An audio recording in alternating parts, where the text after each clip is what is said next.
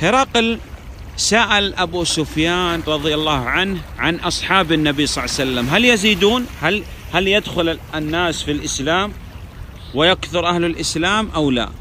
هرقلي پادشاه رومي ابو سفيان پرستکه دویجه أهل اسلامیت زیده دون یا کم دون قال نعم يزيدون هرقلي آه، أبو سفيان جواب ده دجا آري زيده دون فإذا كنا في هذه الأيام لا نزيد هذا معناه أن لسنا على طريقة النبي صلى الله عليه وسلم. هر کی اموان روزا قاجی وی چاقی زیده نون هر روز دمه که امسر ریا پیغمبر نینن. لابد أن نكثر من أتباع النبي صلى الله عليه وسلم. ساویاجی امگری أو نی اتباع پیغمبر ما دکن امگری وأنا زیده کن سر وأنا زیده بخفتن نعلم الناس. امگری انسان هین کن. لا نفتي. فتوا نده لا نتكلم بشيء نشك فيه واحد بالمئة. تشتك امسر شکی دکن یعنی سر شبه لمیش دکن اما تشتا خبر نادن الذي لا نشك فيه واحد بالمئة هذا نعلم الناس كالتوحيد.